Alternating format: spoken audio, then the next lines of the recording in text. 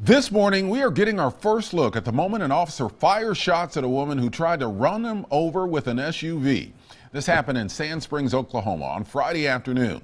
The police department released this video yesterday to demonstrate why the officer opened fire. Incredibly, that officer was not seriously injured. The woman was taken into custody where she admitted that she had recently smoked meth.